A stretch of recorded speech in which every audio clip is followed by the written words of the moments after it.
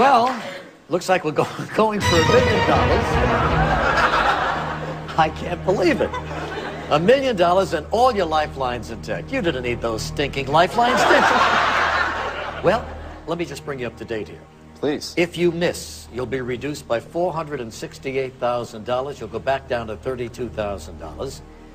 Uh, here it is, a $1 million question. We rarely see these here. Only one of the contestants ever won 500,000 on our show. So if you're ready, let's go for the million.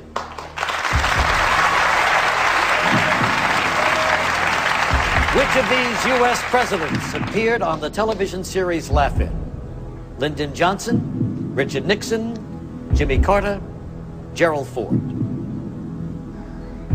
Um, I'd like to call my parents right now. Sure. Use my lifeline, call my parents. What are their names? Oh, um, my father. I'll talk to my father. Does he have a name? Tom, He does okay. have a name, yes, Tom. All right. Our friends at AT&T will get uh, your dad on the line, and we'll see if he can help you. Hello? Hello, Tom. Yes. Hi, Regis Philbin here from Who Wants to Be a Millionaire. Hi. We've got uh, your son John uh, with us right now. He's doing pretty well. Good. He's won a half million dollars, Wow. and he's going for a million dollars. And he needs your help to get there. So Okay. he's going to come on the line, read a question, four possible answers. One of them is the right answer. And uh, the next voice you hear will be John's. John, you've got 30 seconds. Starts right now. Uh, hi, Dad. Hi. Um, I don't really need your help. But I just wanted to let you know that I'm going to win the million dollars.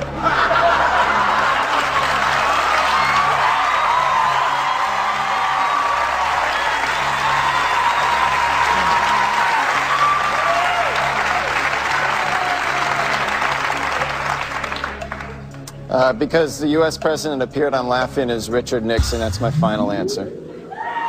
Well, my gosh. What can I say except, Debbie, you're going to Paris, and this is the final answer heard all around the world. He's won a million dollars.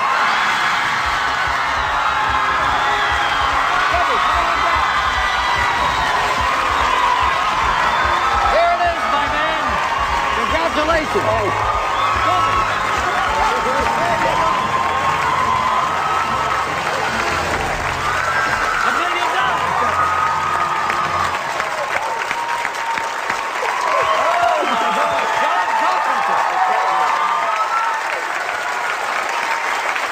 right, John.